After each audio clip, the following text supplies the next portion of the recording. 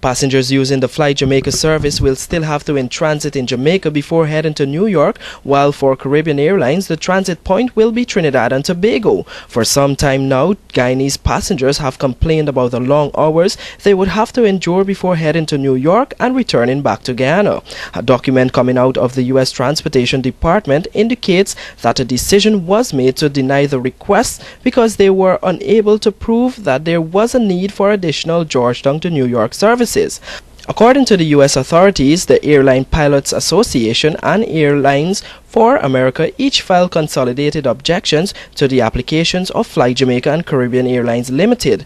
The Pilots Association was in support of the application of the two airlines being denied. The body pointed out that Caribbean Airlines operation is being subsidized by the government of Trinidad and Tobago, and as such, a foreign subsidy of the alleged type would impede the ability of the U.S. carriers to compete. Airlines for America supported the association, also saying that the department should focus on the resolution of issues affecting U.S. carriers in the Caribbean region. It was only July 16 that Fly Jamaica filed their application while Caribbean Airline filed theirs just two days after. Friday last, Fly Jamaica had its inaugural flight from Guyana to New York via Jamaica. The partly Guyanese owned airline was hoping to break what they view as anti competitive conditions, where Caribbean Airlines is the only carrier providing non stop service in the New York Georgetown market.